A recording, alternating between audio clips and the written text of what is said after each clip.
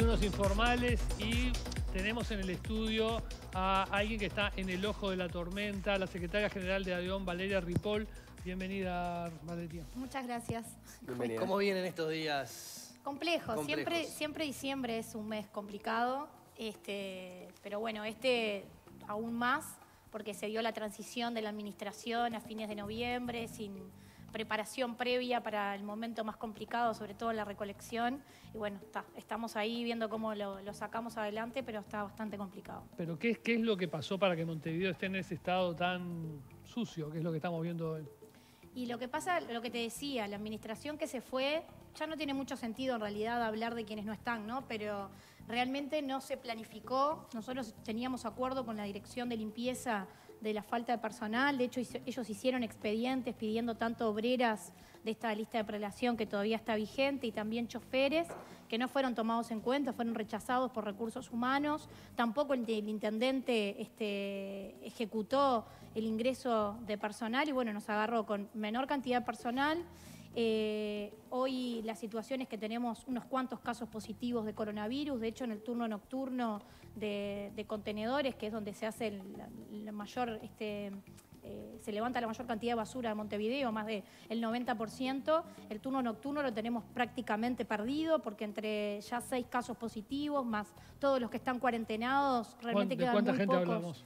Y en el, nosotros estamos divididos hoy en tres burbujas, que eh, estamos en el entorno de 70, 80 personas en lo que es la región, en la región este, que es donde tenemos hoy los casos positivos. Y bueno, ahí tenemos eh, entre los seis positivos y todos los contactos de estas burbujas, ya hay dos burbujas que las perdimos completamente porque están o, o con COVID positivo o esperando resultado hisopado. Es decir, son decenas de Entonces, funcionarios. Tenemos, sí, tenemos muchos, tenemos el turno nocturno de mantenimiento también, con gran cantidad de trabajadores cuarentenados, tenemos en Cantón 2 y en Usina 3, que son los cantones que no hacen levante lateral, pero sí hacen zona limpia y hacen servicios especiales donde también hay positivos. O sea, la realidad de Montevideo también se refleja en los trabajadores de limpieza que no han parado nunca. También de la, sabemos de la producción me empresas- dicen que son 100, que son 100 de 900, ¿está bien esa cifra? Sí, sí, de- de- está cambiando cotidianamente, ¿no? Pero, Claro. pero además se suman otras situaciones, ¿no? Hay gente que está enferma no solo de coronavirus y se da que las empresas privadas que nosotros tenemos contacto también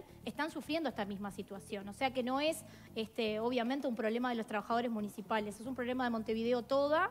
Y bueno, se da la falta de planificación, falta de personal, eh, la situación de, de los casos de coronavirus y se suma además que hoy tenemos muchísimos contenedores con sobrepeso, porque como demoramos mucho más en vaciar el contenedor, tenemos muchos contenedores con sobrepeso y esto este, es fundamental que lo aclaremos porque circulan videos de compañeros que no paran en algunos contenedores.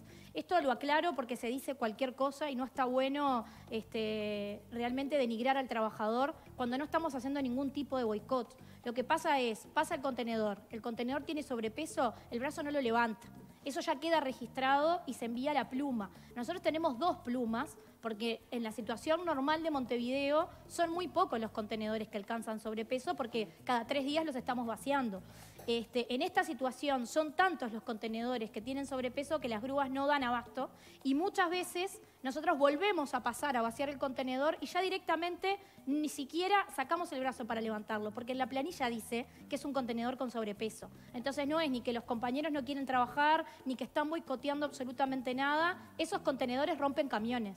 O sea, ahí nos agregaríamos otro problema. Si Pero nosotros entonces- entonces- levantamos contenedores con sobrepeso, rompemos los camiones Claro. y no tenemos con qué Pero levantarlos. el, el- el video que se hizo viral Sí. ¿no? Sí. Justamo- justamente muestra un camión que para frente a un contenedor, no hace ninguna acción y sigue adelante. Claro, porque los contenedores tienen número. Entonces, vos mirás el número del contenedor y si ese contenedor en la planilla figura como sobrepeso, no se levanta. O sea, ni siquiera se saca el brazo a levantarlo porque ya está registrado que ese contenedor tiene sobrepeso. El tema es que, como te decía, las plumas son dos. Entonces, para todo Montevideo y la cantidad de contenedores que tienen sobrepeso hoy, no damos abasto. Entonces, va a suceder que quizá pasemos varias veces con el camión levanta contenedores y no haya pasado la pluma a levantar ese contenedor que tiene sobrepeso. Ahora, eh, estas contingencias que estás eh, mencionando tienen que ver estrictamente con la situación de pandemia. Eh, el, el problema que hubo tiene que ver directamente con la pandemia o entendés que hay, hubo otros problemas que hicieron que la ciudad esté como está? A ver, tiene que ver, como te digo, con la falta de planificación. Está bien que la pandemia no colabora, obviamente, nos suma un problema. Pero si nosotros tuviéramos la cantidad personal que, que realmente necesitamos en situación habitual, no estaríamos con este nivel de carencia. Y eso es una realidad. Pero si- lo, lo cierto es que mm, yo lo comentaba al, al inicio del programa cuando mencionamos el tema. eh, est- estas imágenes las vimos durante los primeros años de la administración de Daniel Martínez. Luego, yo creo que fue durante la gestión Puntigliano, seguramente vos me, me podés corregir, se desarrollaron algunos sistemas de redundancia, se generaron eh, refuerzos de contenedores al lado de, lo- de los contenedores de los puntos. se sumaron camiones. Martínez asume sin camiones. ¿Se, Sí. se acuerdan que él salió el Y, primer no, año? y se sumaron contenedores especiales Se para las fechas y creo que hasta unas bolsas Sí, especiales. se ¿no? sumaron más contenedores. Y, y pero- ahí el escenario cambió un poco, porque estas imágenes no las llegamos a ver en los últimos Mira, años. se, dan, se da la situación de que asume Martínez no tiene camiones. Ese año fue Sí, tétrico terrible. también. Eh, Y al año siguiente también fue se ¿no? Se compran los camiones, llegan los camiones, mejora la recolección. Este, después que la era Puntigliano se dieron dos situaciones. Se dio una muy mala, que era cuando él nos saca los camiones y no, nos- no nos compran repuestos, que hubo un autosabotaje de la Intendencia.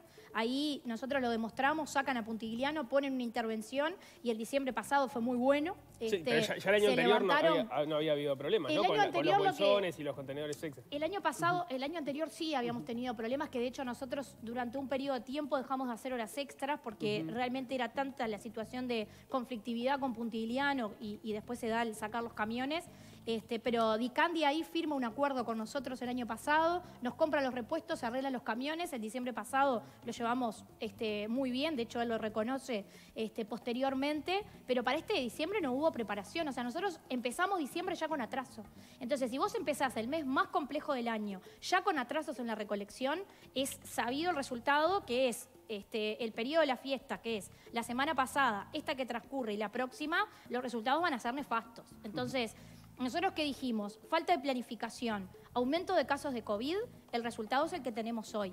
Más de lo que hacen los compañeros es imposible. O sea, de hecho, nosotros le propusimos a la Intendencia un, sistema de operativos que salió publicado el sábado en la página de la Intendencia para que funcionarios de otros sectores se anoten. O sea, la cooperación de ADEOM este, ha llegado al, máximo. Ya no tenemos otra posibilidad, no podemos clonar a los funcionarios este, y ahora eh, sacamos esta idea de que, bueno, funcionarios de otros lugares, armar cuadrillas y salir a hacer zona limpia, que es la limpieza alrededor del contenedor, porque muchas veces el contenedor está vacío, pero las empresas privadas no están dando abasto tampoco, entonces la limpieza alrededor del contenedor sigue estando este, con carencias y lo que tiene que ver con el descopetado, que es el sacar la basura de la parte superior del contenedor, entonces por lo menos le das un poco de aire este, a, esos contenedores y si llegan a tener sobrepeso también colaborás a, vaciar un poco ese contenedor. Esas son las dos tareas que propusimos hacer mediante los operativos. Lo, que seguramente alguien alguien se está preguntando es, a propósito de la cantidad de recursos este, humanos,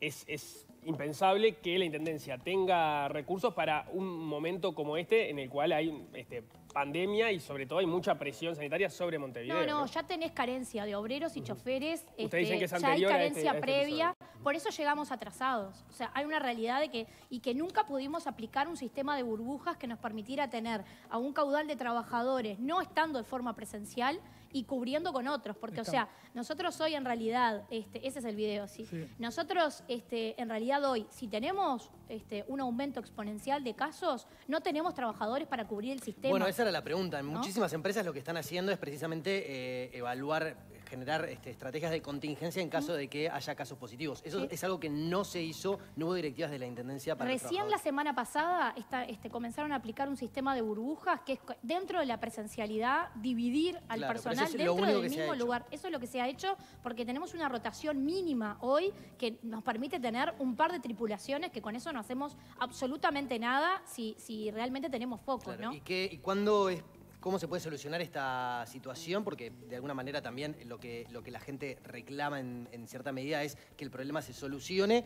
¿Cuándo se esperan que este problema llegue a solucionarse y qué tendría que darse para que se efectúe esa solución? Bueno, nosotros esperamos que con estos operativos por lo menos pongamos un poco más al día lo que tiene que ver con la limpieza alrededor del contenedor y esto que les mencionaba. Yo creo que para poner al día Montevideo este, no va a ser antes del 10 de enero. Porque, o sea, no terminás de, de- de vaciar previo al 31, que nuevamente se desborda, y después Reyes, que nuevamente se te desborda. Entonces, hasta después, de- después del 10 de enero, yo creo que no vamos a volver a una situación de normalidad, digamos, ¿no? Por lo menos con, con- con una, con un vaciado de contenedores cada la, la cantidad de días que realmente necesitamos. ¿Y este Pero plan bueno, que ustedes presentaron fue aceptado? este plan fue aceptado y ya fue publicado. Se supone que en el día de hoy comienzan a, a convocar a la gente para, para estos operativos. ¿no? De hecho, ¿Cuánta gente nosotros- se anotó? Mira, no sé exactamente cuántos se anotaron, porque bueno, eso nos lo tiene que informar la Intendencia. Yo ayer consulté al director de limpieza, a Lorenzo, y nos dijo que, que venía a buen ritmo, que de hecho se anotaron trabajadores que ni siquiera son de la, de la carrera obrera para, para poder colaborar. Este, de hecho, nos ofrecimos nosotros también. Yo le dije, o sea, mi intención es colaborar, pero no, no me interesa ni siquiera el pago que van a, que van a realizar, porque realmente vemos que, que estamos en un problema. Y Eso es lo que no te iba a preguntar, ¿cómo, cómo es el pago de ese, de ese el pago en realidad es, es como es una tarea extraordinaria, es mediante el pago de horas extra, que obviamente se va a tener que hacer por expediente, porque es gente que pertenece a otros sectores que va a venir a trabajar a la división limpieza, es una situación sumamente excepcional. Este, pero yo creo que lo importante es que la gente puede colaborar primero, no tirando basura Bueno, que hoy también, está ¿no? alrededor del contenedor, que no es necesario sacar. Tenemos contenedores, bueno, ustedes lo, lo- lo ven cuando, cuando o filman o, o salen, este, que hay electrodomésticos, hay muebles, hay pales de madera, hay poda. Este, eso no es necesario hacerlo ahora. Realmente todos podemos colaborar limitándonos a sacar los residuos domiciliarios. De hecho, hasta las cajas, los envoltorios, podemos esperar que pase esta situación para luego sacarlo, este, porque no, no genera ningún tipo de contaminación en el hogar y Claro. estarían colaborando. Muchos contenedores tienen muchísimo volumen, pero poco peso en realidad también. Se dan las dos situaciones. Este, vemos mucha caja, mucha cosa que puede esperar. Este, ni que hablar a los vendedores, que también pueden ayudar y no dejando todas las cajas y toda la basura tirada como nos pasa en muchas zonas de Montevideo.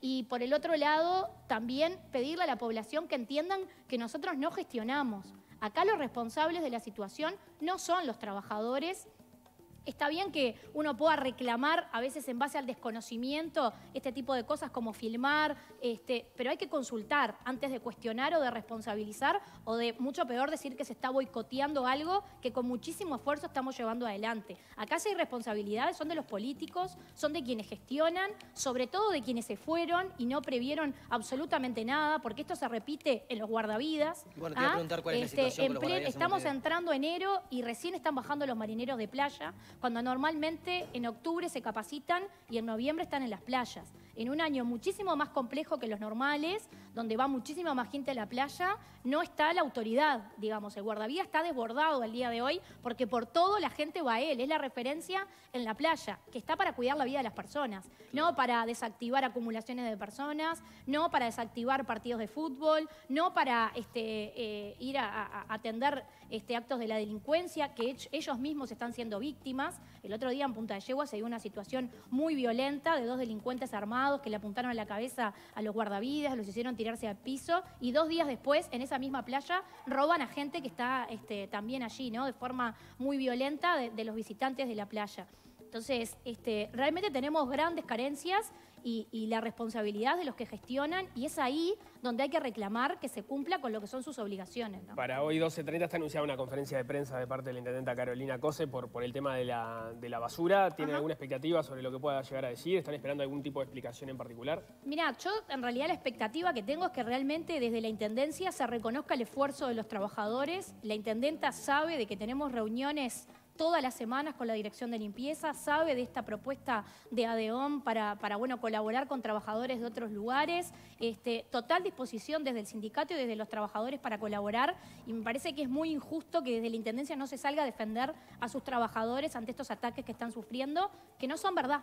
Porque, o sea, si nosotros este, detectáramos algún trabajador que genera un acto que está en contra de lo que es este, nuestra tarea, obviamente que lo vamos a cuestionar. Pero en este caso esto no está sucediendo, es injusto para con trabajadores que han estado toda la pandemia. Limpieza nunca paró. Desde marzo hasta ahora, estos trabajadores han cumplido con su tarea siempre con presencialidad. No fueron cuidados de la forma que correspondía por parte de la administración. Hemos tenido suerte. Yo digo, hemos tenido suerte de no tener grandes focos cuando no teníamos ningún elemento sanitario para cuidar a nuestros compañeros. Entonces, creo que merecen el reconocimiento por parte de la intendenta, más allá que no nos conozca mucho. Hay una realidad que es que nos ve trabajar, que ve cómo hemos propuesto un montón de cosas y creo que es justo para los trabajadores ese reconocimiento. Valeria Ripoll, muchas gracias por esta entrevista. Gracias a ustedes, a las órdenes. Gracias.